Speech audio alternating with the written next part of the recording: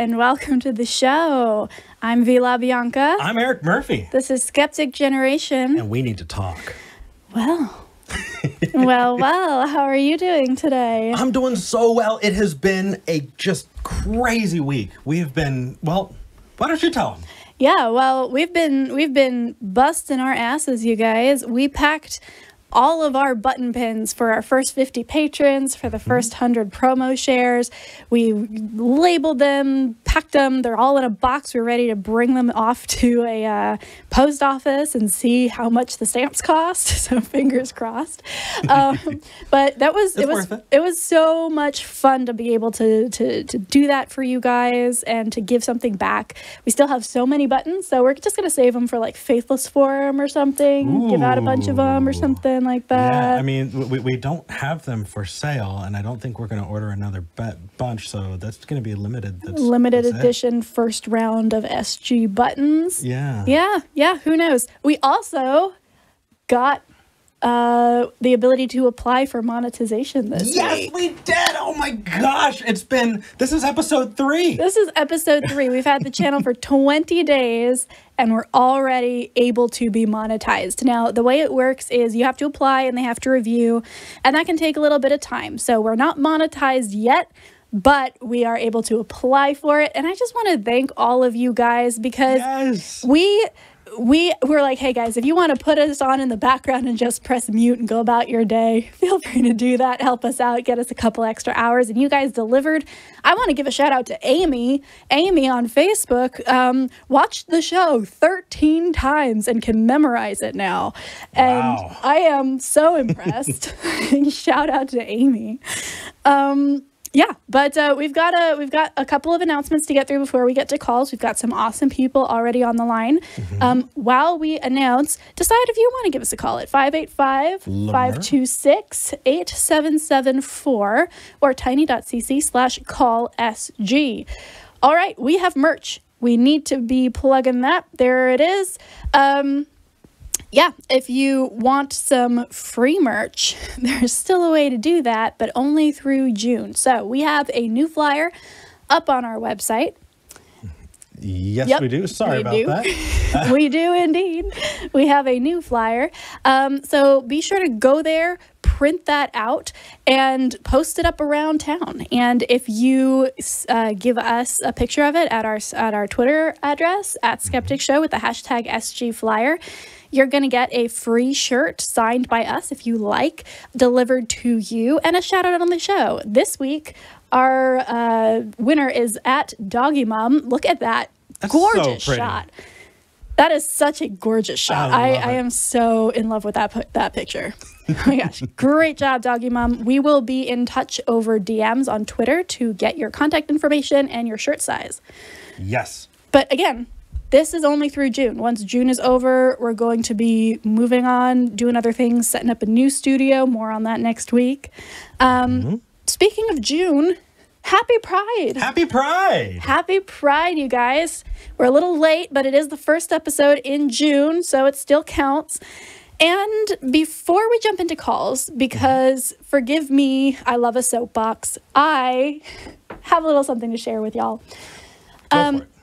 So, uh, I'm queer, in case you didn't know. In, in case this is me coming out. Yeah. I, I mean, yeah. This is this is news to everybody, I'm sure.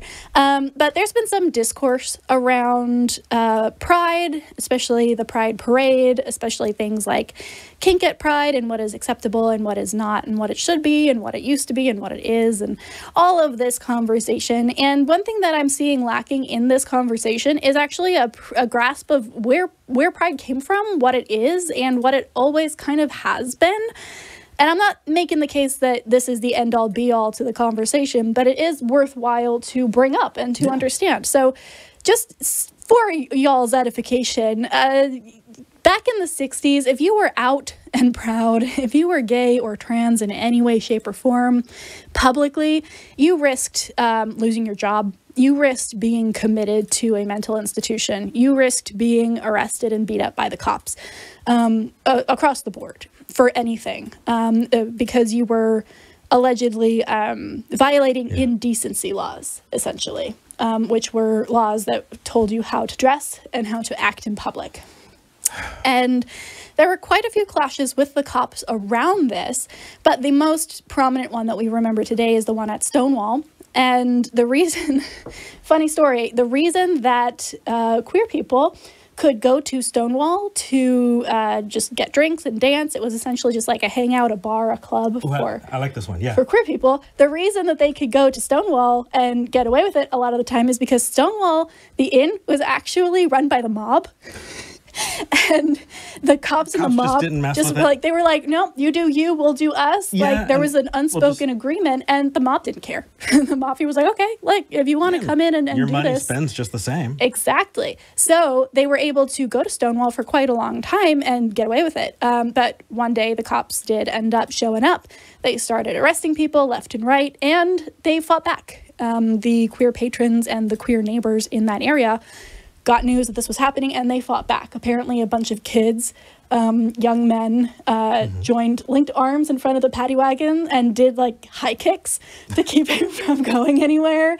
Um, and the first person to uh, throw a brick or start start it becoming a riot, which it did. Uh, is historically accredited to either Martha P. Johnson, Marsha P. Johnson, who is a black trans activist, or Sylvia Rivera, who was a Puerto Rican and Venezuelan trans activist. So, if you take nothing else from this, uh, trans people of color are the MVPs this month and every month, but they're kind of the, the grandparents of Pride, and I thought that was super cool.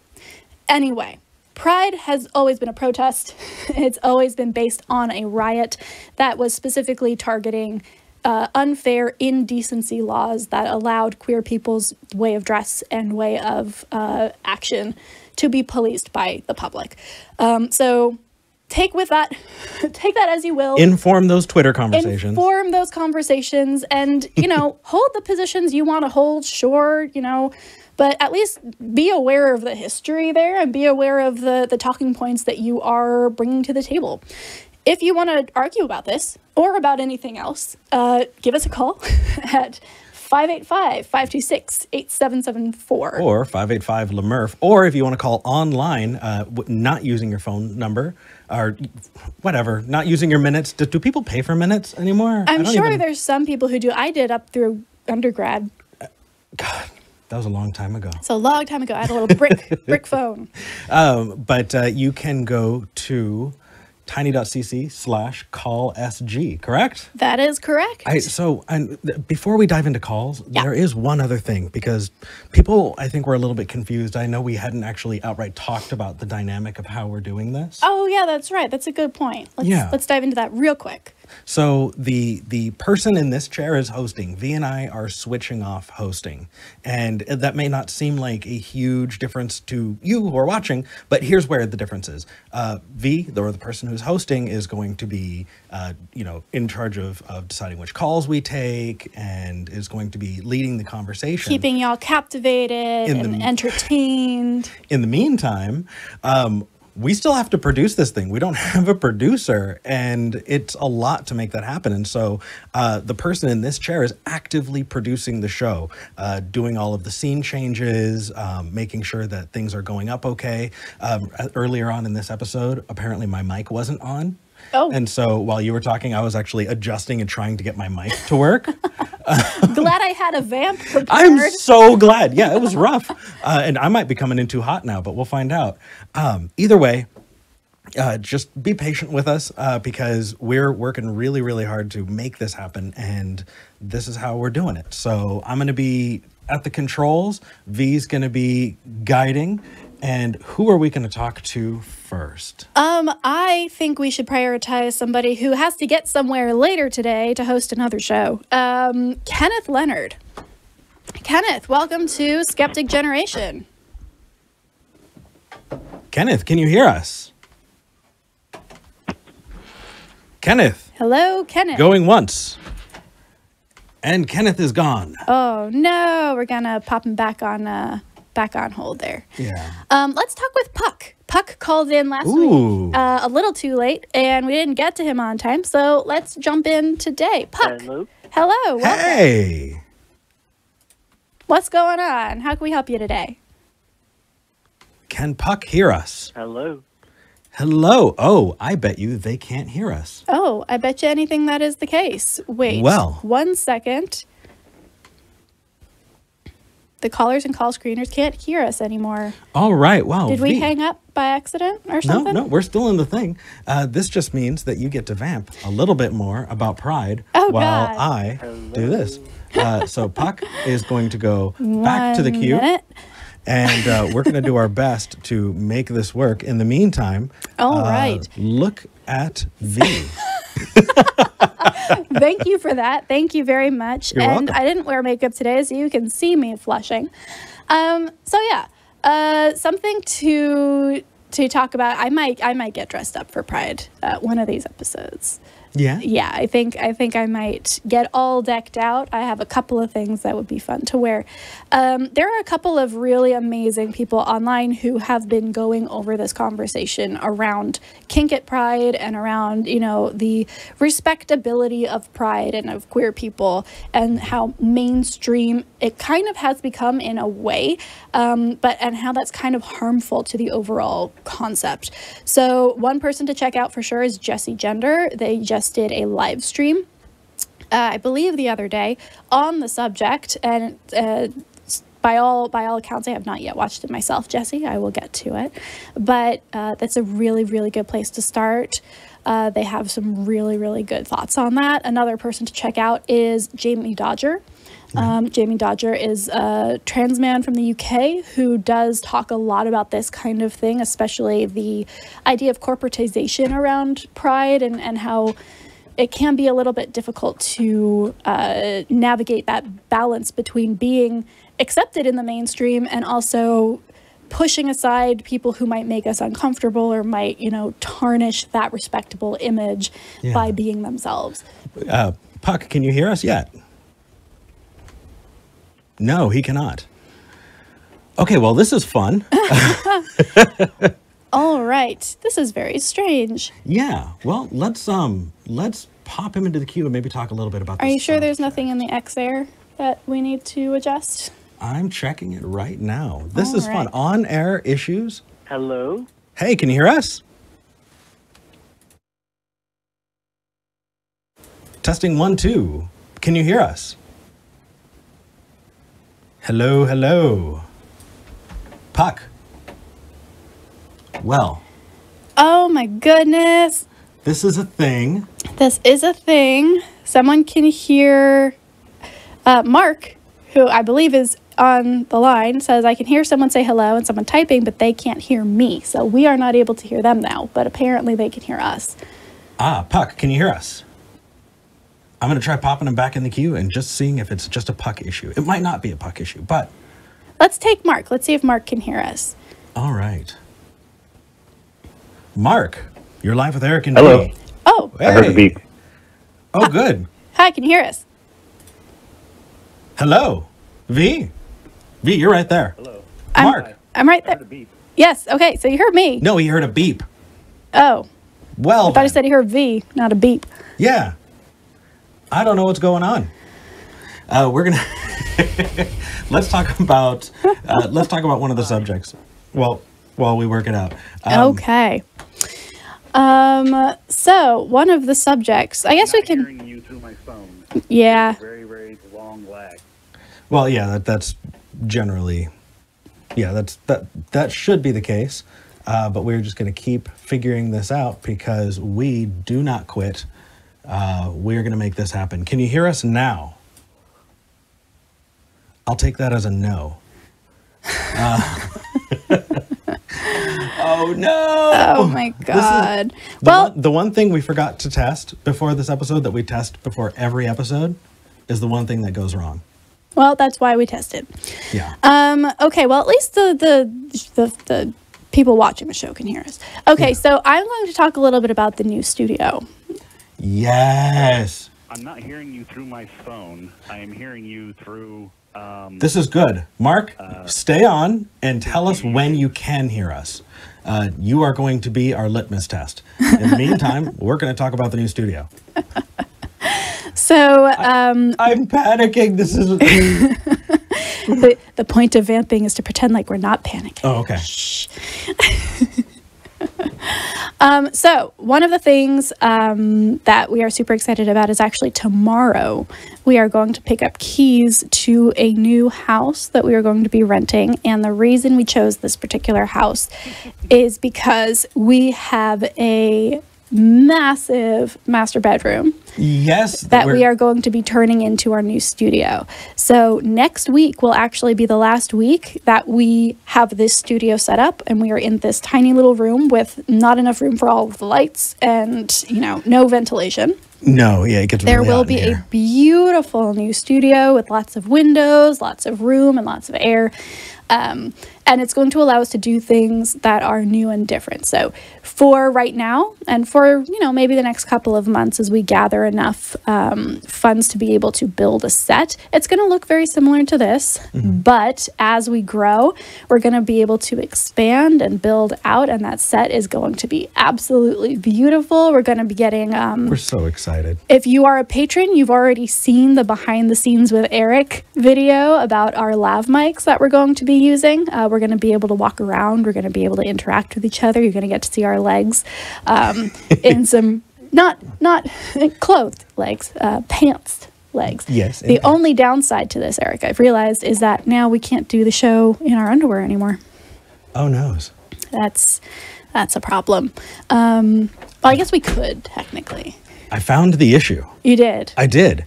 So it turns out that between this week and last week, Google Voices decided that we didn't give them permission to use the microphone. Oh, So now I'm going to Google how to fix that. okay. All right. So we um we have the issue. Now we just need to ask Google why that's the case. Um, we've got some really exciting callers. I'm so excited. Charismatic Catholic is calling in from Texas, and we're going to be getting to him soon. Cindy Plaza says, You guys have legs? What? Legs exist? Believe it or not, that is the case. Um, let's see any other fun things in the chat here let's uh let's turn this into a really brief ama while we're waiting on this to get fixed I think that's a wonderful idea. All right, I'm going to need to. I think I'm going to need to recall into call in studio. oh god that's gonna drop everybody That's going to drop everybody. So everybody who can hear us, get ready to call back because this is going to be a nightmare. Okay, cool. uh, so Five we, two six eight seven seven four or tiny.cc slash call SG. SG. There, I've put the information in the chat. So while you're busy calling back, because we do want to talk to all of you, um, ask us anything. Ask us anything. We will we will answer your questions. Yes. Uh, I. You know Inez what? Says, "Oh Lord, help us." Well, there had to be one like this. You know. I mean- it was going to happen eventually. the first one was like this. Uh, You're right. Except we weren't on the air, right? Only one. No, well, that was the problem. Yeah. Oh, Ooh, Tomb Bros and Drum Beats says, followed by the pound key. I did. Go ahead. That was an invalid number. Please re-enter your show or meeting do, do, do. That's weird. Yeah. And go ahead. Go ahead. Okay. Um, so Tomb Bros and Drum Beat says, when did you two crazy kids get together? We got together unofficially almost two years ago. Um, August or September of 2019. And then we made it official in December, I believe. Uh, so in December, it'll be two years. Yeah. I mean, thing, the thing is, things progressed very, very slowly and um, very innocently for a very long time. And Yeah, so we were it cuddle was- buddies first. We were just like, yeah, you know what? We're sharing a lot about ourselves. Okay. we need to we need to reward them for sticking around with us in some way. Enter your show or meeting number and press pound. All right. So, um, yeah, we were cuddle buddies at first, and then eventually we ended up being more than that. Um, yeah. So that was it was back in the summer of 2019. You are now in the host room and can manage your callers. Oh, through the call-in thank goodness. Okay, we are back in. Let's see. Let's Who- take somebody. I think if we go up, we've got Malachi in the host queue. Malachi, can you hear us? Please, can you hear us? Yes, I can. oh ah! Okay. Oh, Okay, we're back in. Let's do this. all right. Oh no. All right. Oh, that was panic. That was um you guys are awesome. You guys are the chillest people I think on the face of the planet. Thank y'all. All right, Malachi, what can we talk with you about today? Uh, I was going to say you've got some material for a bloopers reel. The entire show is just going to be a bloopers reel. yeah, that's. I mean, that that that is going to be the bloopers reel clip. Um, I I don't want to shy away from it when we clip this. I'm going to take that entire thing and publish it out. Oh yeah, no, this entire thing is going up. But uh, I was just uh, calling in, you know, as I've deconverted from religion, I'm an atheist, and um, I start to look at other things other than religion. Um, you know, instead of as opposed to just kind of like aligning with certain political views, I try to look at all things from a skeptical point of view and try to, you know, rationalize like, is there is there some kind of moral issue here that um, that I should like be for or against something? And one of those things is kind of like a topic that a lot of people can be you know can be really controversial and that's um, gun you know gun laws and gun rights and and my my default position for everything is that is that I initially I'll never really support taking away rights from anyone for any reason. Um, and for anything we should be we should have more rights you know um, and and we're always fighting for those sorts of things. So so initially I kind of um, kind of shy away from um, you know being negative towards it. But my but I'm always but then I'm kind of thinking well is there a reason that, that is there good evidence? Like is there a reason that I should be against it um, and, and I kind of go through a thought process of like you know it's an inanimate object it's amoral um, you know immoral or moral actions are committed by people and not things. And so I just kind of wanted to like bring that up uh, kind of like as just as skeptics you know how do we go through life and and try to evaluate these sorts of things from a skeptical point of view and how do we know if we're right or wrong? And That is actually, I love the fact that you called in about this because this is exactly kind of where I would love this show to ultimately go. Is yeah, let's talk about how skepticism applies to gun ownership. That's a really interesting topic, um, and hopefully one that people will be weighing in on in the comments in the live chat. Uh, for me personally, Malachi, um, I don't think that gun ownership is an immoral thing. I think that a tool cannot necessarily be moral or immoral. I think it's mostly about how you use that tool. So if you have a farm, for example, and you need to protect your your your herds or your your flocks or whatever, absolutely understandable that you would have a gun. If you just like playing with it and you're safe and you go to a gun range and you take all the precautions and you, you get training and, and you have fun with it, that's also fine as far as I'm concerned. But it's the irresponsibility of the kind of gun laws that frankly are being passed in Texas right now, where they're actually even abolishing the need to have a license at all. So you can now conceal mm. carry an unlicensed firearm anywhere you would like in Texas, which is scary to say It's the least. terrifying because pe- people have. I mean, somebody tried to wanted to fight me. Actually, I was at the doctor's office a few Oh, weeks yeah. ago, and somebody um, was had you know had the chin strap, and this was before um, the mask restrictions were lifted. And I was at the doctor's, and I was like, okay, I need to feel safe at my own doctor's office. And so I, was, I, I, I told him, hey, could you please pull up your mask? And he tried to get me to go outside to fight him Yep. Um, you know, if that guy could carry a gun, I'm sure he would have. And as angry as he got, that that could have wound up really, really bad. Um, I I've got a couple of other opinions, but I Yeah. wanted you to. Um, the only other thing I would say there is that there is also this element of, you know, we, we have to acknowledge how some people are encouraged to have guns and other people are discouraged from having guns. In fact, it can be lethal for them to even carry facsimiles or toys that look like guns, right? The, a lot of the the mm-hmm. police shootings that happen of black people, especially black men, are, oh, well, he had a gun. Well, there's that disparity, right? There's that cognitive dissonance that we as skeptics Right. need to pay attention to, which is okay, well, then which one is it? If we're going to be consistent and skeptical in this, then we either have to say, yes, everybody gets a gun and can use it whenever they want, which frankly is a bad idea, or we need to regulate it and treat people who are just carrying guns around with maybe a degree of concern. But when that concern is only levied at a specific group, it becomes less skeptical and more of a form of policing, frankly. Um, what are your thoughts, Eric? I agree. Well, I, I, I think defending yourself uh, is a right. I don't think ownership of a specific kind of weapon is a right. Uh, people treat guns as a fundamental right, and I think that they're conflating the weapon type with the concept of self-defense. Um, I think that yeah, uh, in, in your examples of you know people in the wilderness, people in the, in the wilderness, if you're hunting, if you're doing this and that. Um, but personally, um, I think that if you were to uh, take the word gun out and, re- and replace it with any other hobby, um, it would be banned because uh, there are more suicide deaths than there are murders with gun ownership. Uh, and people don't talk about that. The fact is, um, there people will try, and a lot of them are more. I, I hate using the word, but it's more successful at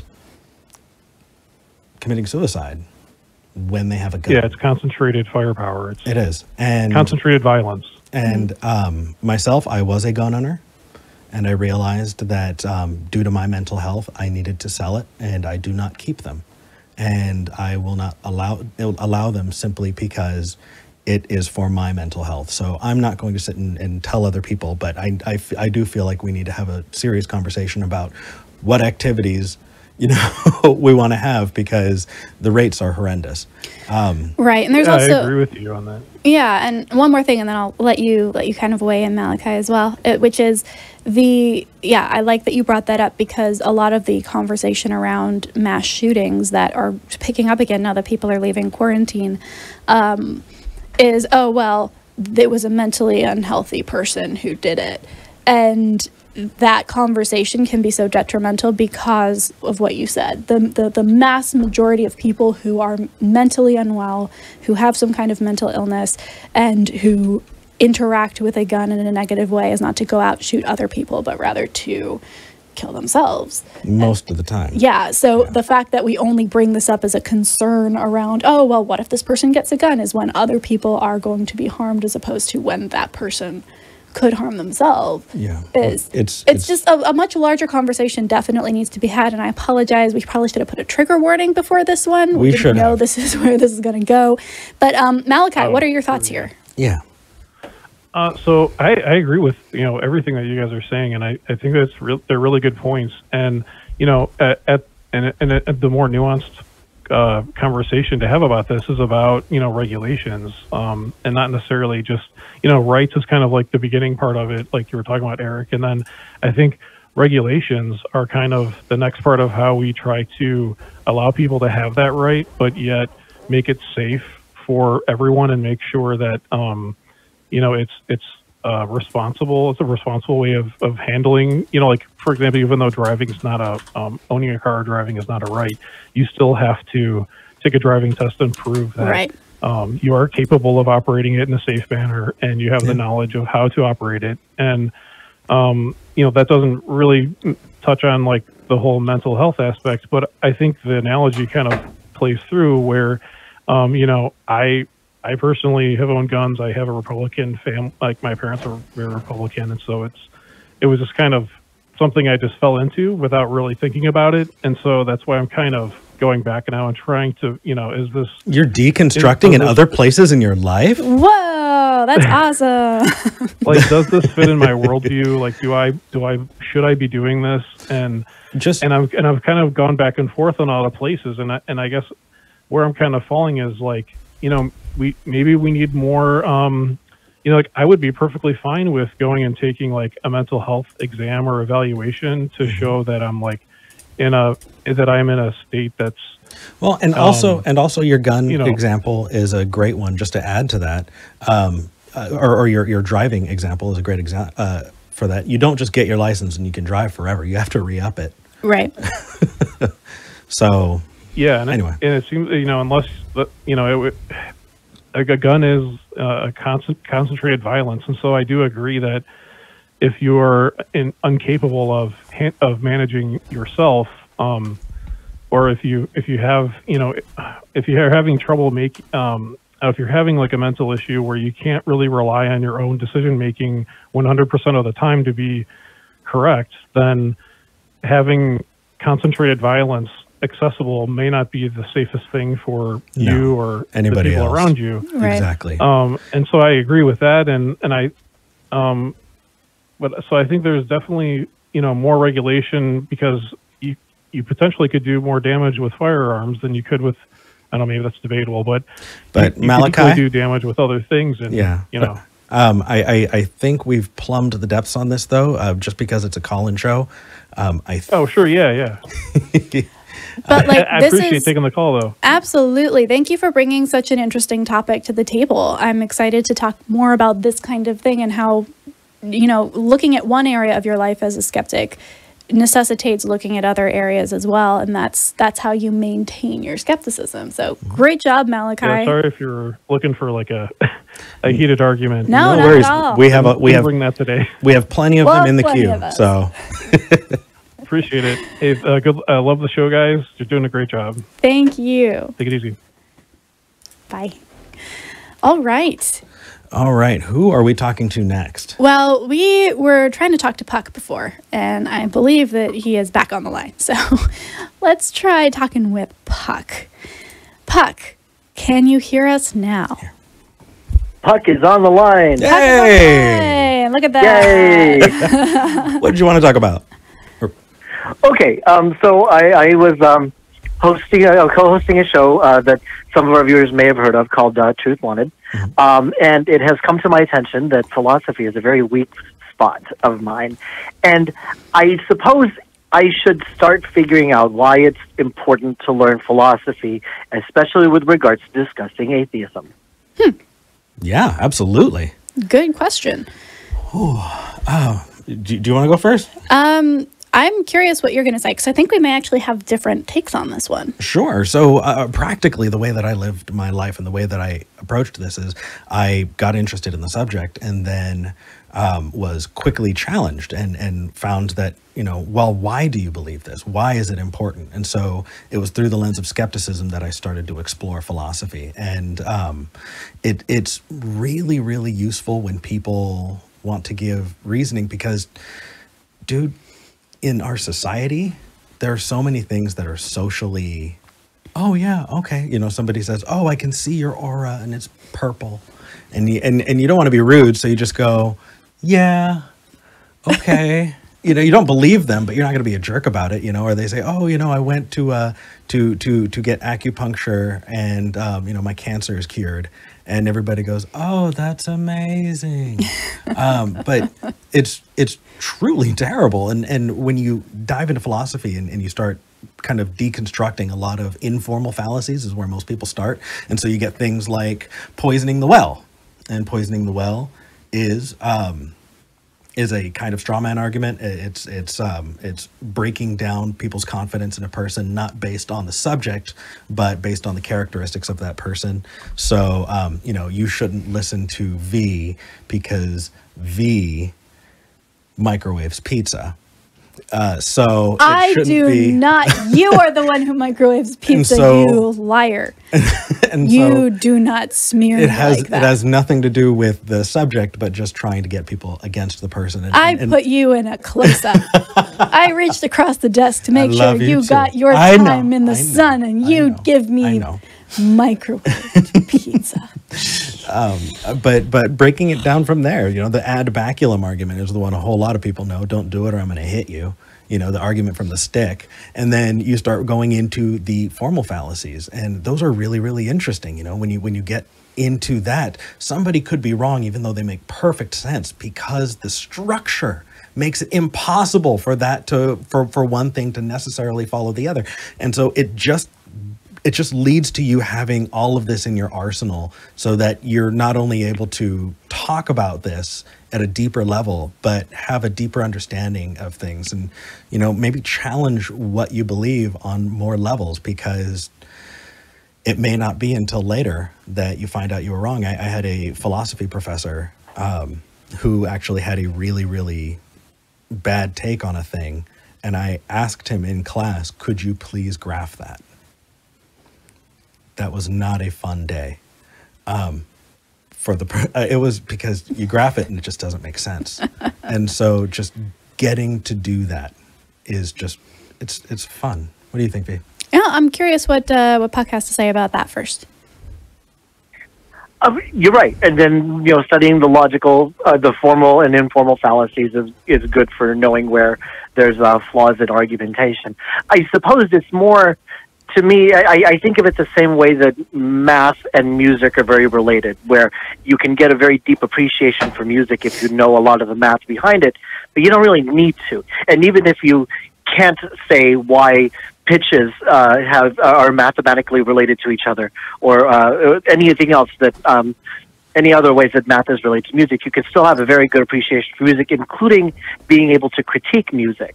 Yeah. Yeah, I like that. So it, it seems like a lot of people, especially people who believe in philosophy, in the conversations I have, they try to bring it. Every conversation to this is a discussion about philosophy, just like people like me will say everything has to do with math. I, and sure, if you break it down, everything has some basis in math, but Well, I- I- there's so much more to it. Puck, here's here, Yeah. here's here's the great thing that I discovered. Are you ready for this? Yeah. Math is derived from philosophy. Yeah. So when we say everything goes back down to math, you can take it one more spot and it goes down to philosophy. Um, if you look at where a lot of the mathematical symbols come from, um, they share the exact same roots and philosophy of something is greater than, less than, added to, subtracted from, equals. Um, and you, you just go down the line. There are a whole bunch of really, really fun symbols that nobody ever sees. Um, I believe wasn't the equal sign created to express A is A I, as opposed to I'm, and not, then I'm not sure about that one particularly, but if you, you, you're. yeah I'm. I'm reading this book the god problem um, and it's really well written and i highly recommend it especially to people who like math because it's very math based and it's he, he, he writes it in such a way that is interesting to me a, a non-mathematical person. Um, but one of the one of the things that he points out especially is that they are connected so intensely that math was made possible by uh, the creation of the the axiom A is A, and the first time that somebody created that equal sign, it was to express that philosophical concept before it was then used in amazing. math. So yeah, and and I mean it, it makes sense. You know, a lot of people will think, well, hold on a second. Math has this ability to to abstract, and you're able to prove a thing true, kind of in a bubble, even if it's not true in the real world. You know, um, or no, I'm sorry, I'm flipping that around. Most people think that math leads to absolute truth. There we go. And philo- in philosophy, in philosophy you can do the you it, you can you know do something in a bubble but the same is true for math right we can add fictitious apples into a into a barrel and find out how many apples there are without actually having apples you know we can we can mathematically you know talk about how tall um, you know the the highest hill in the shire is above sea level without actually going to the shire and in the same way you know math has that as well it's context dependent. What I loved is that there are you can you know I, I feel like if we were to get a time machine and get all the great philosophers in a room and and say you know are you philosophers? Yes. Do you know philosophy? Do do, do you know what is it? Uh, you know? And, and and and and mathematicians at the same time you know are can can with amazing certainty be able to get us you know to to the moon. It can get us into space. It can get us technology and all of that but it's within context. And without the context you ask somebody you know uh, what you know what does a thing add up to and undefined. See, but here's where I'm going to jump in and express Puck why I think philosophy specifically and understanding these is important. If you are trying to come up against certain apologetics and apologists. Now, if you want to be a good atheist, a good skeptic, you don't really need to know a lot of philosophy, right? You can you can get a, uh, a grasp of the informal fallacies, maybe a couple of the the formal ones, and you're pretty much good to go. This isn't like a you need to know philosophy or else you are not a good skeptic kind of conversation at all. But exactly in the way that Eric just got super excited talking about math and philosophy, there are professors Pruss, I think is his name, um, who uses math and its connection to philosophy to try and prove God. And it's very convincing to a lot of people because they don't know the philosophy or the math in a lot of cases uh, to be able to critique that. So it's essentially bringing a, a knife to a knife fight, right? Where you're like, okay, philosophy for a lot of these apologists is the weapon of choice that they use. They use it badly, but for somebody who doesn't know better, like it looks fine. It's like a bad choreographed fight scene in a movie where like people who don't do it for a living probably aren't going to notice that it's, you know, looks fake and staged. But if you, you know, sword fight for a living or if you uh, do jujitsu or something, you're going to be able to tell right away that they're faking it. So if that's your goal, that's when philosophy becomes useful. But it absolutely is not a requirement across the board to be a skeptic or an atheist. Okay. I appreciate you guys taking time. And it's so interesting hearing how excited both of you get about talking about this. and and I, I, I, I wish that there was there's more time and it, it was the appropriate time for, for, for beers to be shared around a table so that this con- conversation could go on for longer. Hey, Uh, next time you're in Austin, man. Damn straight. Um, in the meantime, take care. I, I, I keep doing that. You, you do. But that's okay. Thank you so much for calling in, Puck. Thanks for the conversation. Thanks for your time. Have a good day. You too. Bye. All right. Oh, let's talk um, to Dave. Okay. Let's talk with Dave. Dave has an interesting story for us. Dave, welcome to the show. How can we help you today? Hey guys, am I on? Yes. You are. Well, I yeah, I was going to tell you I used to be a skeptic, but then I saw I was having a pancake yesterday, and I saw Jesus' face in it, Mm-hmm. and so now I'm a believer. Uh-huh. Um, so I don't believe you. what, what do you say about that? How do you how do you argue with that? I don't believe you, Dave. But I saw his face in a pancake. Yeah, Derek. Da- Dave. I here, here's the thing. Um, we, we you got two options, buddy. Uh, one is we need to you know really dive down and figure out whether or not you're real, or two, if you're an atheist. I'm real. I'm right here talking to you from Kansas State. Well, from Charlotte, North Carolina now, where I live with my girlfriend Bevan. Hi, Dave. It's nice to have you on the show. Hey, Eric. Oh, Dave! Oh, god damn it! I knew it. Uh, everybody, uh, you might want to update that. Dave, it is lovely hearing from you. I figured. Oh, I figured. I love you guys. I just wanted to call in, support the show, and tell you hi. And so I thought I would. I thought I'd get through quicker if I posed as a crazy Christian seeing Jesus in a pancake. no, we don't want to encourage people to do that. Well, well, you you got us. You got us intrigued.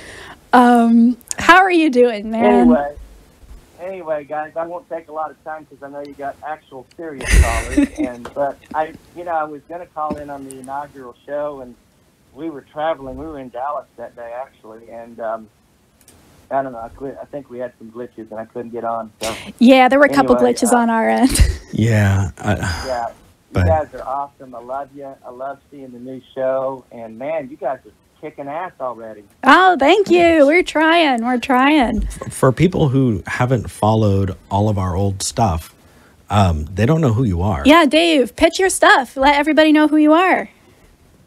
Well, I've I've been on Eric and Eric. You know, so far, you know, the Talk Heathen. We did a couple of those with uh, with you, and um, one of my favorite times on that was that um, that caller. He was a very nice guy, and we, we agreed to disagree, and and um, and he, uh, I think he said something like that that we can disagree, and I said, yeah, I disagree with lots of people who are wrong.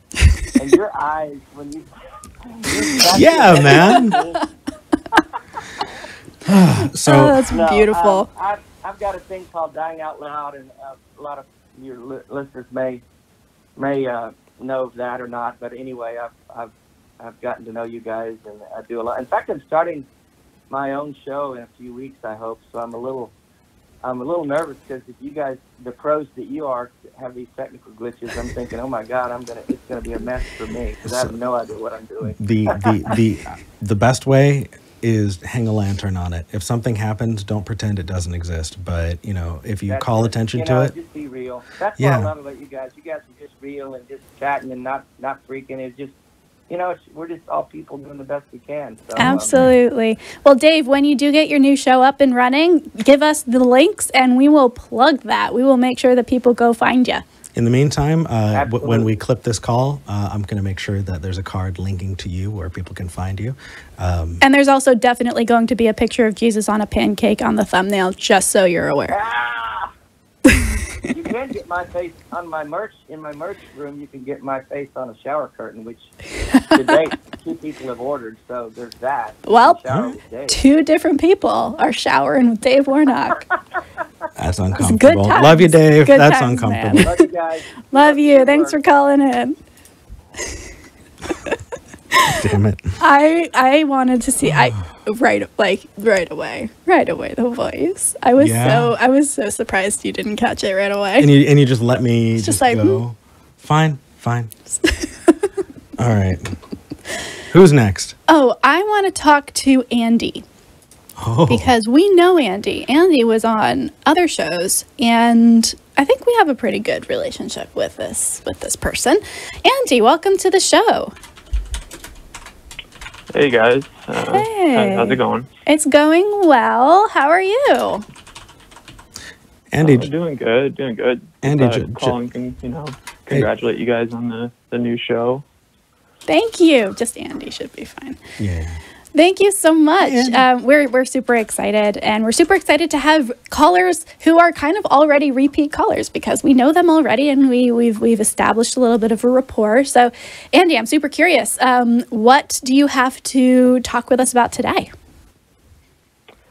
Um, so it's kind of touching on a topic that you guys uh, had a conversation about last week with a an individual named I guess Justin. I think his name might have been. Yes. Um, um, obviously, the, the, topic is veganism, and I just kind of wanted to come in with, um, I guess, a Christian perspective on this because it seemed like um, a point that Eric brought up um, when I was like listening to that conversation is that um,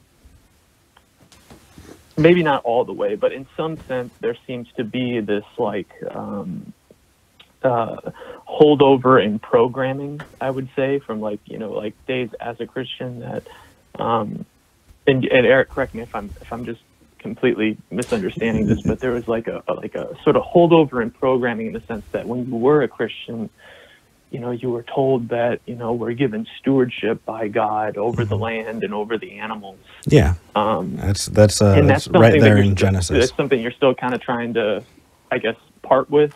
Yeah. Well, so the thing is, I um, I I'm not necessarily against you know the conclusion. I'm against the reasoning that gets you there. And so um, there, while I have you know I've been working through this and working through this, um, there is still I feel some influence in there that I still need to work through, and I'm trying. Uh, But uh, you know that that that when when you get hardwired from a young age into that, um, that it kind of sticks with you. Sure. Yeah. I, I completely understand. You know, Um, you know, Andy. you know, I, I, what's okay? Really, really quick. You, you know what's funny? Um, you're on the other side of things, right? You're a Christian. yes, yes. Okay, and we're atheists, and we're discussing this in a civil way. Yeah, Yeah. I think so. So you're in Texas, right? I, I am. Yeah. I bet you a beer that if we go into the comments under the video for this clip, people will not be as civil as you and I. Are you up for taking that that bet? Um, oh, I, I tell you what, I, I tell you what, I, I think I, I would have to turn down that. Ah, yeah. Can't be seen fraternizing with the enemy. we're trying so hard to model, you know, just I'm discussion and But I'm curious. I'm curious, Andy. As a Christian, as a as a Catholic, I believe. How do you how do you think about the concept of veganism? Is there is there room in your in your theology for it, or is there a is there a counter uh, theologically that you've got to it? Yeah, I, I think that I think it needs to be stated first off that that Christianity does not mandate, you know, eating meat. Um, this isn't something that you know, for all Christians out there, you know, it's not it's not something that our religion mandates, right? And I think that we actually have a response because I would agree with Eric that, um, you know, I've been told this too that you know, in the eyes of God, um, we do as humans have a um, you know a special place. We are given, we are entrusted with this responsibility of being stewards over the land and over the animals. But for me, I just don't see how. Um, well, there's really two two paths here. The the first would be I don't see how it follows from being given stewardship over the land and animals that therefore it becomes okay to en masse breed them into existence for the sole purpose of killing them and chopping them up for their bo- their body parts. Well, right? there's like, I a- just don't see how that how that follows. There is a really interesting um, exercise that I did back in undergrad. I went to a Christian school and I had an entire class, an entire semester's worth of class around this topic, around stewardship versus mastery of creation. And my professor at the time asked all of this all of the the students in the class to line up uh, across the room. On one hand, we were gardeners, we were stewards, we were to protect and not master or, you know, submit, like bring the world into submission. And on the other end of the of the room, it was, hey, you are the masters of this this universe or this this earth. You can do whatever you want to it. God has given you the permission to do that. And he was like, "All right, go line up. Where where are you?" And I was closer at the time to stewardship and, you know, the gardener concept, but everybody in that class was spread out across the room, right? And it was a spectrum, but there were definitely people who interpret that verse and, and that ordinance to go forth and multiply to mean go make everything else subservient. So I do see where you're coming from. And I think that if if we were to talk about just the the global impact of that particular theology, I would agree with you more than the other. Um, but there really are quite a few Christians who interpret that very much to mean we can do exactly what we want with everything else on the earth.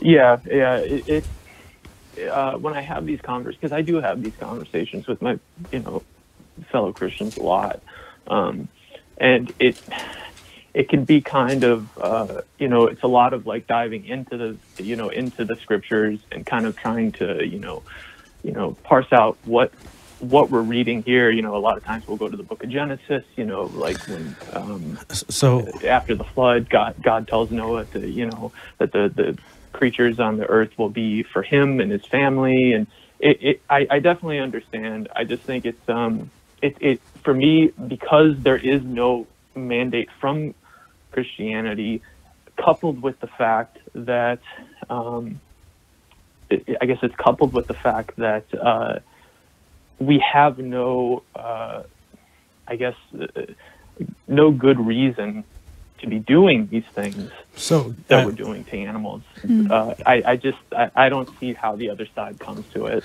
so Andy, um, can I ask you a related question? Yeah, yeah, sure. Just while we're talking about God and veganism, Yeah. um, do you view God as moral and maybe you know the things God wants as moral? Absolutely. Yeah. Okay. Uh, while you were talking to V, I pulled out my own Bible and I turned to Leviticus because I know that there are tons and tons of offerings. If you go to Leviticus, uh, let's see. Geez, I was I, I started in Leviticus two and I moved through four and I, I think it keeps going. But um, different sacrifices to make at the altar, um, and, and these are animal sacrifices. Um, so, has God changed his mind about sacrificing animals? Like, Um, or, or, or, or actually specifically, let me ask you, because because that's not a good question. Can I rephrase that? yeah, for sure. Go Okay. ahead. did God approve of animal sacrifice? Yes. Okay. Is what God approves of moral? Yes. Okay. Does that make animal sacrifice moral? Um, it made animal sacrifice as part of the old covenant. I would say Ah. moral for sure. Um, if we're talking about uh, in a modern context, it may. Um, but when we're talking about veganism and we're talking about factory farming, um, So I, I, to- I- I totally see understood. I, I, I actually, I totally, totally understood the whole factory farming thing. I think is is is a is a related issue as well, but not the topic of this question in particular. The thing is, you you, you said what I thought you were going to say, and I wasn't trying to make this a trap, but I was trying to highlight a an issue that I've had in the past. And you said that's not the case anymore. It's part of the old covenant. So for people who don't speak Christianese, uh, the idea is that uh, after um, after the Exodus, uh, Moses uh, wrote down a whole bunch of laws, and you can see those laws in the book of Leviticus.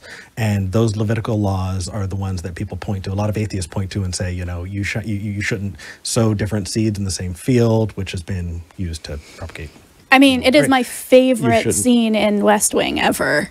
I mean, You shouldn't uh, wear mixed fabrics. Um, you know, you shouldn't eat shellfish and things like that. And so, uh, fast forward to the New Testament, uh, the idea, uh, and, and and by the way, when you do something wrong, you need to make a sacrifice and penance. And so, um, in the New Testament, the idea is that Jesus' death on the cross is an ultimate sacrifice that gets rid of everything.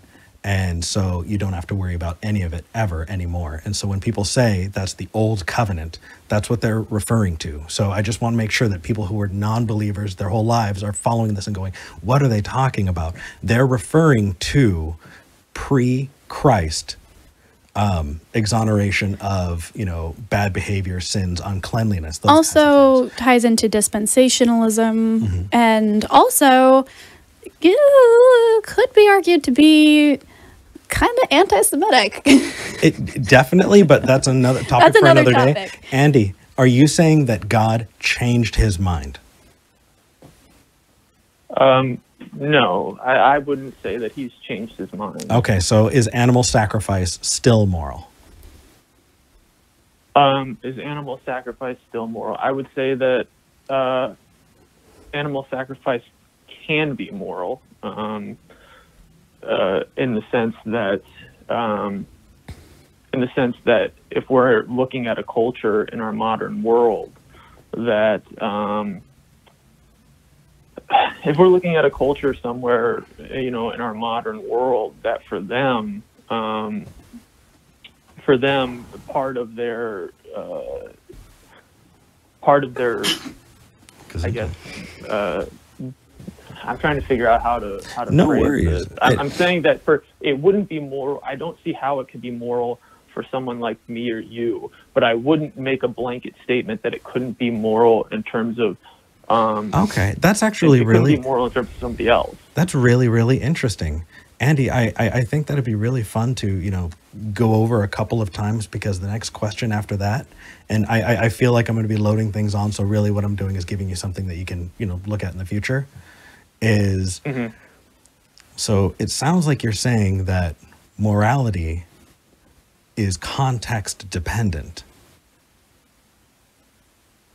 Um, morality is. I would say that there is an ultimate, uh, an ultimate objective morality, but that Okay, so then the, the Um, the reasoning you gave earlier then doesn't really make sense because you sounded like you were giving a context wherein animal sacrifice is still moral.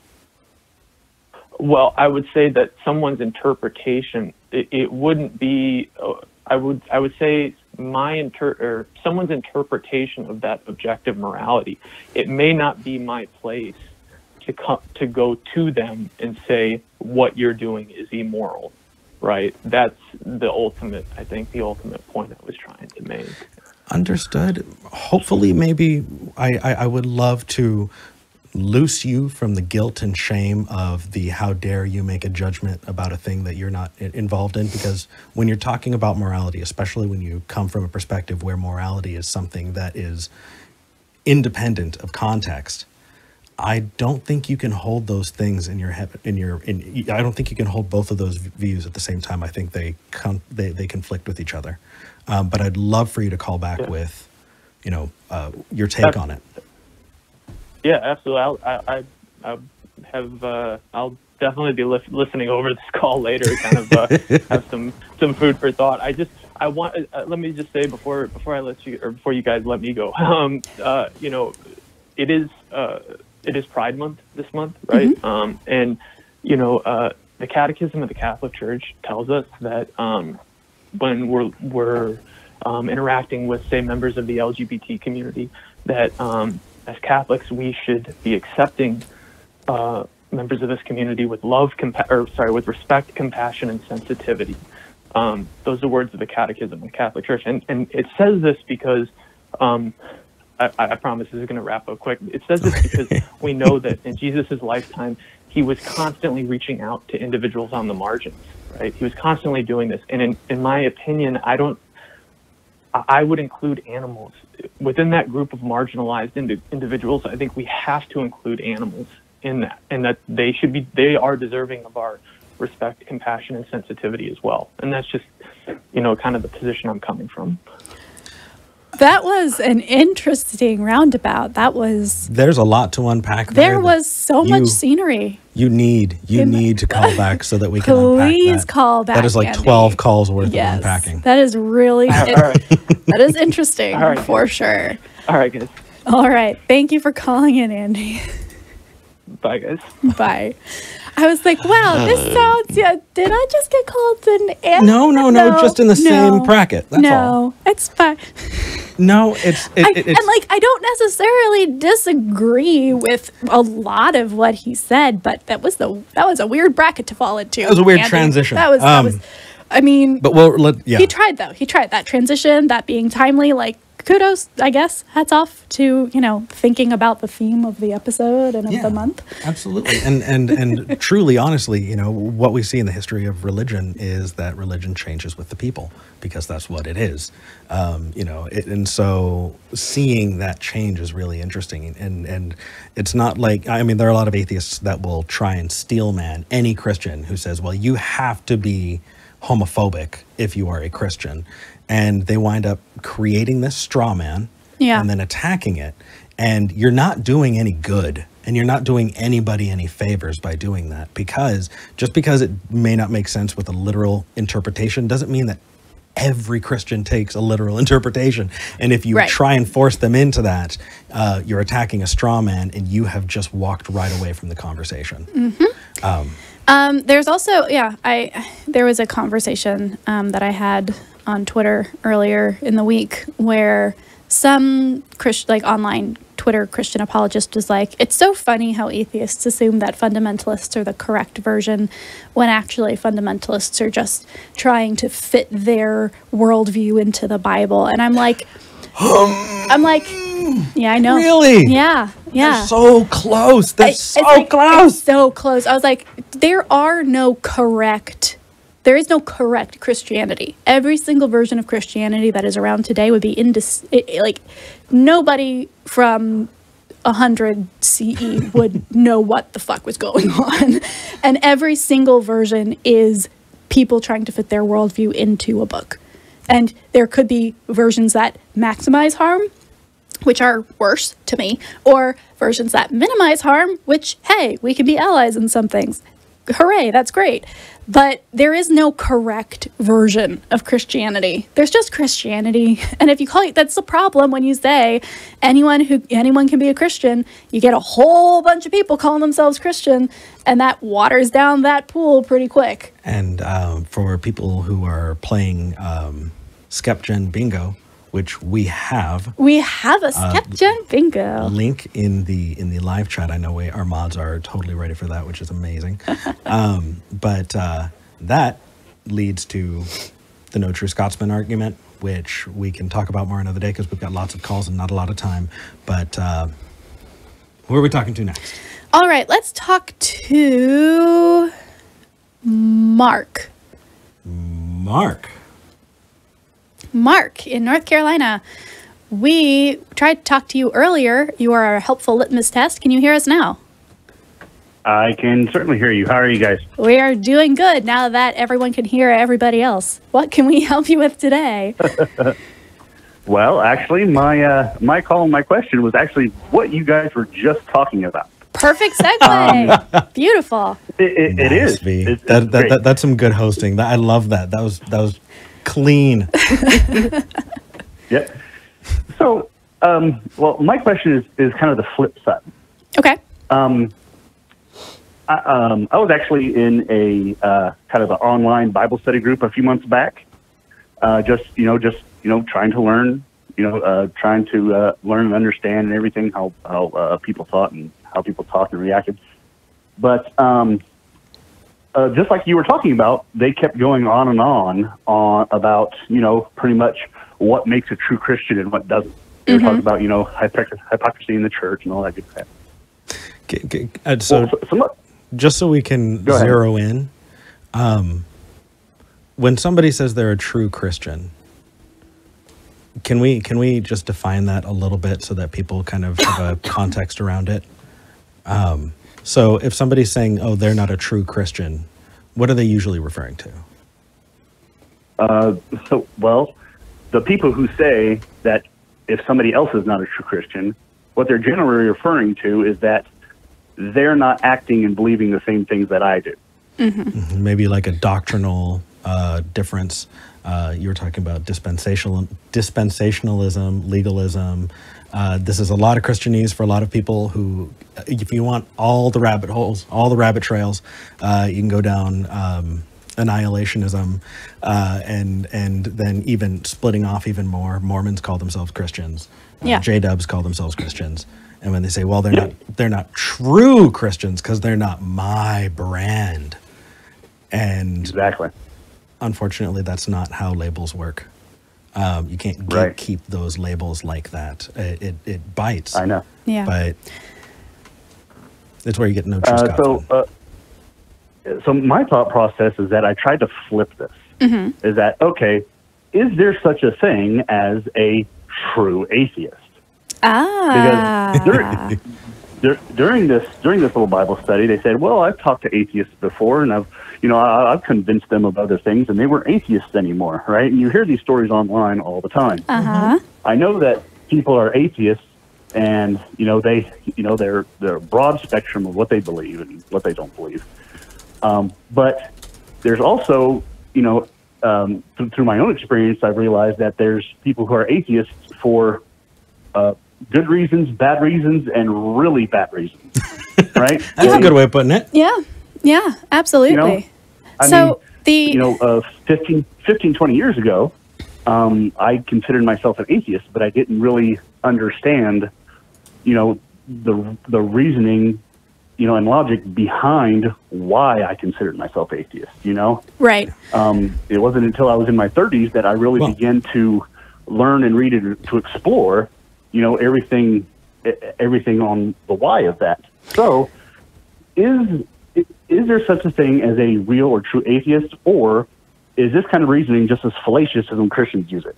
Well, here's the here's the fun part. Um, I would say that you can be a real atheist or a not real atheist much more easily than you can or cannot be a real Christian because the definition of an atheist is someone who does not believe in a god or gods. So if you are that, then you are a real atheist. It is a single definition, and if you meet that single criteria, then you are an atheist. If you believe in a god or gods, you are not an atheist.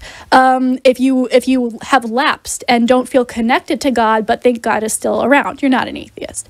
If you are mad at God for doing something mean to you at some point and so you don't believe in Him anymore, you're not an atheist, right? Um, and a lot of Christians tend to use those two interchangeably and say, "Well, I was an atheist," and what they mean is, "I didn't love God at one point." Um, but yes, you can absolutely be or not be an atheist. The interesting thing, and this is why we kind of went with this direction for the show, is whether whether or not you can use that for skeptic, um, because I think that is a much larger conversation that has a lot more to do with that nuance that Christianity brings to the table of, oh, well, there's more to it than just an answer to a single question. It is a worldview, it is a practice. And before we get flooded with messages, I, I, I kind of want to. Oh, did I say something controversial? You you did. Uh, there are a lot of people who are prescriptivist about their definition of those words. Oh, they can come the fuck at me. the fuck at me. At author of confusion At author, Author confusion. confusion. on Twitter, um, and just remember that when you email, um, uh, what was it? Contact skeptic. Contact skeptic generation at gmail.com. Make sure that in the title you you you, you say this is for Vi, um, and have fun with that. Mark, thank you for calling in. Hey, it's great talking to you again, Eric. And uh, hey, you guys are uh, keep doing what you're doing. I love all your work. Thank you. Thanks for calling in. All right. Oh my goodness. Okay, I do want to so, talk to. So we're, we're, we're, we're, we're hitting the we, we got the vegans, and now we're gonna get the agnostic atheist debate coming in.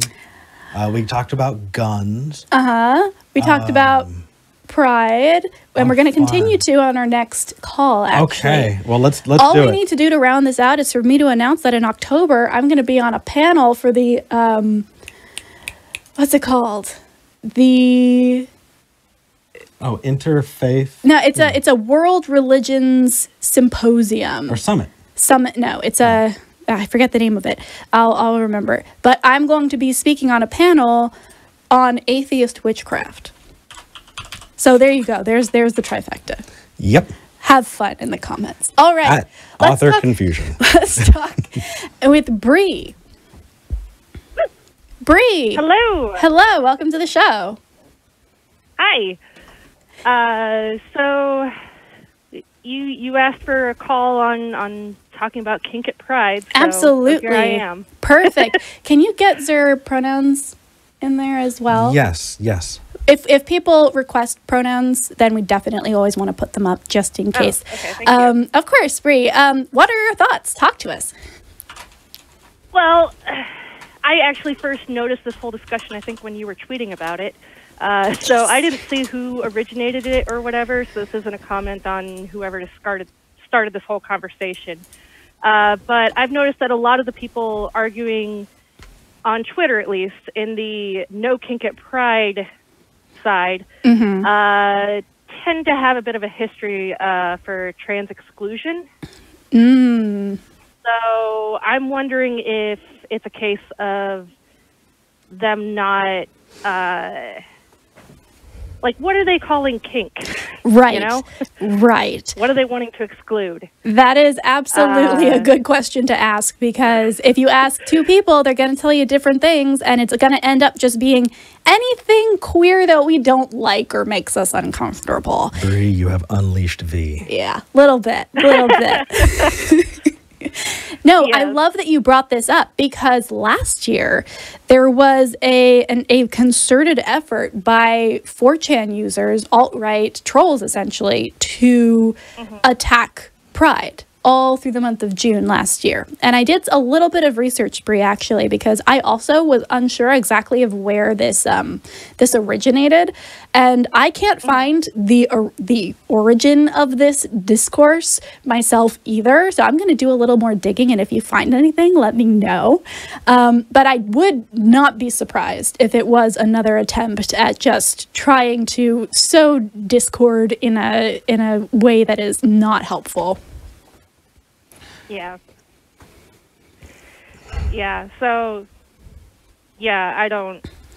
And and I mean also like as far as my opinion regarding you know so-called kink at pride. I mean as long as we're not breaking any local city laws regarding like I don't know nudity or public sex, mm-hmm. then they can whine all they want.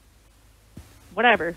Well, and that's another thing as well. Um, there is, if, if you want to say kink at pride makes me uncomfortable, Absolutely, we can have that conversation. Why is that? If I were still on another show, I probably would deconstruct that quite a bit and have a lot of fun with it. there are there Yeah. are also people who are on the ace spectrum, right? And might even be sex repulsed who want to participate in pride and kink might make them uncomfortable. So there's a great conversation to be had around how how to include our asexual friends and companions in pride as well.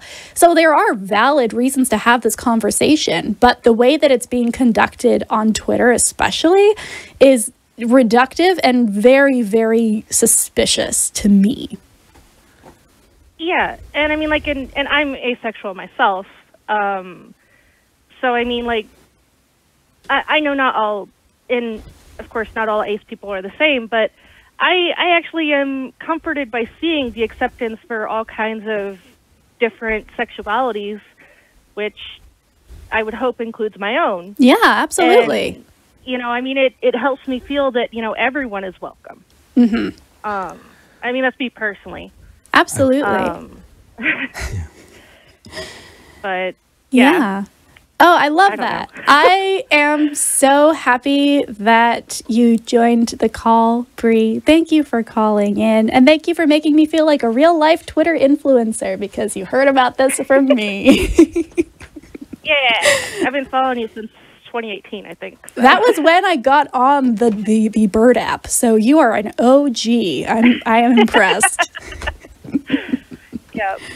All right. Well, thank you so much for calling in. I think we're pretty much on the same page on this, and I love that we got a chance to talk about it a little bit more. Yeah, it's it's been kind of frustrating because part of me was like, I don't know where this came from. Another part of me is like, I don't get what the big deal is. yeah, I mean, it, it, it doesn't it does seem to have blown up quite a bit. Um, we're gonna move on to the next caller, but thank you so much for calling in, Bree, and happy Pride. Yep. Thanks. Happy Pride to you guys too. Happy Pride. Bye. I so it's it, it, it's interesting. Um, I I'm not straight, and I'm fine with that. No, I okay, and I, I I I understand that, and I know that, and I accept that. But for some reason, I still feel like an interloper, and I'm working through it. But mm-hmm. seeing those conversations, I don't.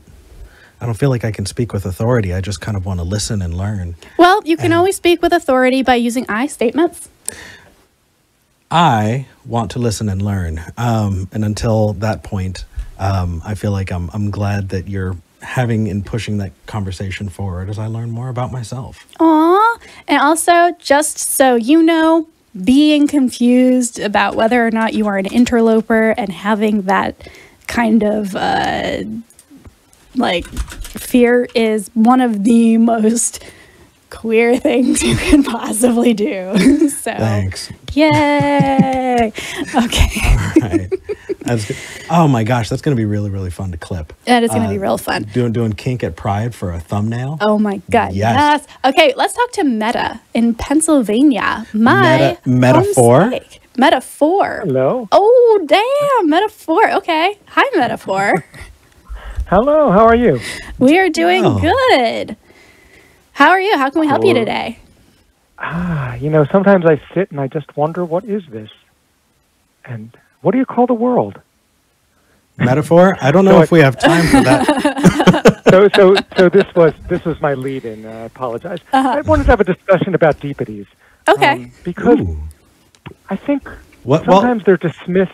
Uh, I guess the, in the, the nut in a nutshell, where does a deepity begin or end, and a poem begin, or a metaphor? So, I mean, I looked at where they came from, and then it was Yeah. talking to them Mm-hmm. Talking let's about let's their theology. Let's and heard from specifically identify what a deepity is for people who are following, because they might not know Oh, what a, sure. a deepity is. A deepity was uh, is a term coined by Daniel Dennett uh, when he was talking about uh, different sayings and phrases that sound very, very.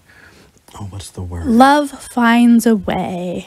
Love is just a word. Or, or it's not the size of the boat. okay, that actually has anyway.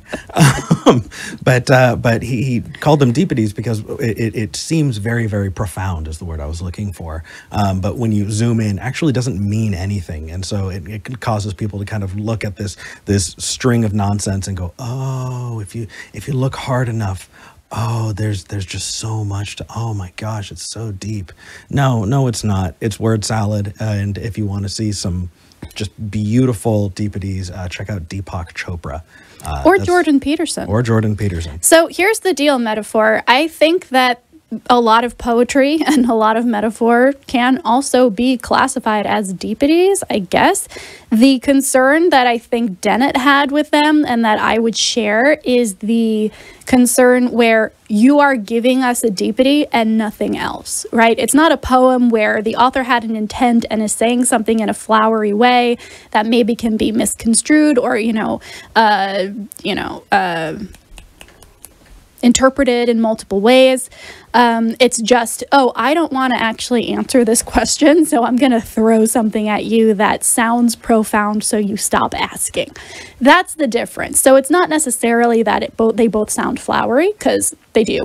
Um, it's uh, I'm gonna, you know, smoke and mirrors you so you don't notice that I don't actually have an answer. Does that make sense? Um, I hear what you're saying. So, I, I, in a nutshell, it sounds like you're saying you're, they're kind of using it as a rhetorical weapon.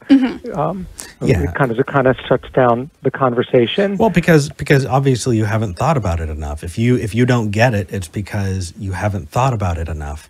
Um, it, it's it's used so often in so many different ways, and that's just another way that it's used. My favorite, and the one that I think struck me on that, was truth. Because as a Christian, you say, "I know what truth is. It's given by God." And when you say, "Okay, well, what is truth?"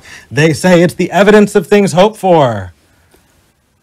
And Well, I've- the hold on. What do you think about No. this one? No, no, no. Sorry, it's Evidence of things not seen. it's it's the Not seen, yeah. no. It's it's. Can you can, can you? I, my brain just I- slipped it. yeah, my brain's not not getting it either. Um, we were never true Christians. Oh god damn it! Um, Well, you know, In the live chat, evil correct better us. than passive good. I like the uh, the the loves concept it of is infinite. yeah. Do I like the think that it's- concept. Go ahead. Yeah, so um, I'm sorry. So if a thing loves, it's infinite. I mean, we can agree upon that. It is infinite. th- So- what so the hell like does that mean? No metaphor. What the hell? If something is loved, it's Right. infinite. What the f- me- infinite? What? No. What? right, right. In, what so that's in- a poem by William Blake. Okay. And a highly regarded, like line from a poem. I'm sorry. So no, that's okay. I thought you were making that as a statement. I was like, Well, I mean, yeah. So, but I mean, perhaps uh, the person who is using the deepity, perhaps they really haven't formed the idea well. What they want to, you know, and they're, you know, and, and you know, a lot of times in conversations, it's very pointed. We're looking for, what do you mean? What do you mean? I want to know what the truth is on that. But, ah, you know, I guess like what you were saying in the previous call about, um, you know, there being, I, I don't know how else to put it, but people who, there's such a variety of people of faith. So some where it's very compatible with someone who's an atheist and we could go out and talk about stuff and even agree upon a lot of stuff, even though if a thing loves, it's infinite. Anyway, well, never mind. Um, so, Well, um, thank you for. Yeah, we're gonna have to move on. Metaphor. We've got like maybe seven, eight minutes left, and we want to make sure we get through the last calls. But um, that was actually a really interesting differentiation. I think is useful. So thank you for calling in. yeah, no worries. Nice talking to you. You too. Bye. Right. Um, Who are we talking to next? This gives hold on one sec. This Okay. this gave me mad. Um, it's for those of you who have been on Twitter recently, uh, Richard Dawkins is now going after Kafka's Metamorphosis as being a stupid book because it's bad sci-fi or it's unclear metaphor, and how dare Kafka? And I'm just very confused with Dawkins at this point. Also honored to be lumped in with a as a trans person with Kafka as things that Dawkins doesn't understand. Um, but it's I, I don't know. I think I think there's a larger conversation to be had about where metaphor and figurative language fits into things because as skeptics we're not saying we must only talk in computer code, right? Like there are True. It's there there is art, there is beauty, there is literature, and they all serve very important purposes. But maybe when we're trying to determine things like what is truth, we need a different foundation than a Bible verse. Uh, Well, and, and it, it's not just that. It's it's you know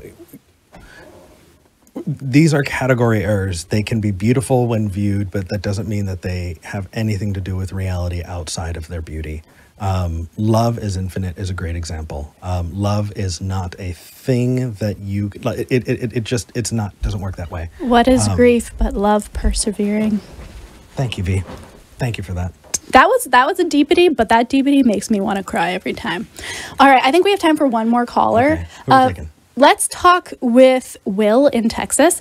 Um, but for everybody else on the line, please call back next week. You both have very interesting questions we would love to talk with you about. And we want to make sure that when we clip these later, we're able to give you a full, like 5, 10, 15 minute conversation Yes. and not just a couple of minutes. So make sure to call back and we will look for your calls. Will in Texas, welcome to the show. Hi. Hi, Hi. how can we help you It- today? It- it's amazing to talk to you both. I've been a fan for a long time. Oh, yay! Um, so I know that uh, veganism has been a hot topic. My, is this the third call? This is, well, it's one per episode at this point. Yes, No, no, go no. for it. Okay. So I apologize for um, muddying the waters there, but I think that um, there's there's a piece of helpful um, data that, that I can, or not data, but but an idea that I can um, provide that, that will help others consider another point to this topic. Interesting. And Hit us. What's up? to, to me, it, it starts like this. Um, I assume you are both against animal cruelty. That's a, I think that's a good assumption. I, I think I'm against cruelty in general. Right, cruelty in general. So, uh, obviously, at this point, you'd want to kind of define what cruelty is, so that um, you know we don't take out things that that aren't um, uh, that make it. Uh, how do I describe this? Um, so, in a nutshell, my view is if one is against animal cruelty, and we know that animals, other animals, do sense danger, do flee, do run away. Um, how is it that uh, that we can re- reconcile literally killing an animal to end So- its life, to prevent it from living its best life, to have any kind of choice in the matter? Which we know, if it had a choice, it would run away from any kind of of impending doom that it could recognize. H- how can how can you reconcile eating meat and being against animal cruelty? Well, I'm going to dive into the deep end here for a quick second. And I'm sorry that we took you last, and we're going to have to wrap this up probably sooner than any of us want to. Which is why you're going to have to call back. Right, and- definitely call back. Uh, for me, specifically, when I think of animal cruelty as a category of action, I'm thinking about abuse of an animal for whom you are caretaker or for to whom you have a personal responsibility. So if you go out and you adopt a dog and that dog is now dependent on you and you have entered into this some kind of social contract with this animal and being like I'm going to provide for you and care for you and house you and feed you and then you don't that is animal cruelty. Now, I smash bugs off of me when they land on me. I'm, you know, like that is not a contract that I am breaking, even though, yes, I am killing a bug. It's that to me is the distinction between animal cruelty and other concepts around that. I'm not saying that that is by any means hard and fast, but where my mind goes is is that contract that you enter into with an animal you decide to care for and then don't. Yeah, I, for me, I, I, I, jump. I know we don't have a whole lot of time, so I'm going to try my best to summarize this. Um, so I, I think we're mixing things, and when we mix them, it gets muddied. And so the first is if we were to uh, look up Temple Grandin. Temple Grandin uh, invented a very, very humane way to slaughter cows. Um, that gets them to from zero to death without suffering or fear or pain. And if you were to factor that in, now is it moral or ethical to kill that animal? At the same time, there are other things like you have that dog your entire life and that dog is now suffering. It is at the end of its life and you decide to put it down. Uh, I would say that that is an act of compassion and yet you are still killing an animal. And because of that, using broad strokes like that are it, what it does is I feel like it destroys the conversation that needs to be had in the gray area that we need to find ourselves getting to a lot faster. I think we'd like to make gray areas on this topic, though, especially the one where we talk about, oh, well, we're humans, we're not animals, when in reality we are. And in my eyes, well, I can't so- see well- how it isn't cruel to end a uh, to end the life of another animal just because we want to eat it when we have but what if it's many suffering? Will, but what if it's suffering? So the way that I phrase this is, I- I- I- understand. I- I- unnecessary animal suffering. Perfect. Um, let's pick that back up. Uh, but uh, we, we, we are out of time. Um, thank you for calling in. Thank you for waiting. Call back early, okay? You're both awesome. Thank you very much. Aw, shucks. Thank you, Will. All right. Once again, we have to not take all the callers because we had technical issues, and that's on us. Um, Yes. Thank you so much, everybody who stuck around and stuck with us for those 10, 15 minutes where we were trying to figure out everything. I hope I vamped adequately for y'all. You did wonderful. Um, we are probably going to, yeah, as I said, the next week is the last week that we are going to be in this studio space. So say goodbye to these guys. Say goodbye to this chair. Say goodbye actually. to. I don't have a chair. I we totally forgot. We're, we're borrowing this chair. I'm gonna Uh, this chair is mine. Um, but uh, it just I'm over time we're realizing we, we, we, we don't have like a wireless router, and so There are like there, yeah, there are a couple things that we realize we actually need. need yeah yeah. Um, Um, but we're, we're working on getting them. If you want to help us get there, um, We do have an Amazon wish list. Um, we also, if you have not already, uh, consider donating to our Patreon. We have behind the scenes with Eric um, videos where Eric um, goes through lighting and audio and all of these small considerations that really make the show as good as it is already. It's fun to share and geek out about it. and I geek, just the, the biggest geek. Um, so that's exclusive to patrons. We also give you guys, you guys are stakeholders in this, right? You guys have um, skin in the game, I guess. And so what we like to do for our patrons is every so often we'll do a post called Show Us the Money, and we'll talk a little bit about what we're paying for a specific thing or where the money is going or how much we're making here or there. I believe we're up to 11 whole dollars on Spreaker in yes, AdSense. and all, all we need is another. Is another If nine. we double that, then it will pay for itself, which is awesome. Right, because we pay twenty dollars to get hosted. We've got eleven dollars back. Until about next year, and then it's going to bump up to fifty. But anyway, we're so we give you all the nitty gritty, and because we want to be transparent about this, we want you guys to feel included and like you are putting your money towards a worthwhile goal that we are going to be, you know, using to better the show and to grow bigger and bigger because we have so many good ideas. Yes, we're going to be, we're moving into so many other platforms and we don't even have time to talk about it, which is horrible. But if you want to support us and you don't like, like the video right now. Uh, the likes to the number of people who are watching is terrible. Like that video, subscribe, hit the bell, and share this out because we ha- there are people who want to know where we are. We would love for them to find that out. So share this out, please. Also, I'm just going to give a little bit of a hint about what we're doing on our next platform, which may or may not be TikTok. Hint. Google Google um, Joel Osteen's Inspiration Cube. Oh yes. Just yeah, go Yep. have fun. um, Discuss. just discuss amongst For people, yeah. wow, that's an old. Okay. Um, so, uh, oh, we still don't have an outro for you guys. Oh no. Um. So it's gonna be up to Eric this time because I botched it last time. Okay. Um. Until next week. Opinions are like assholes. We have them.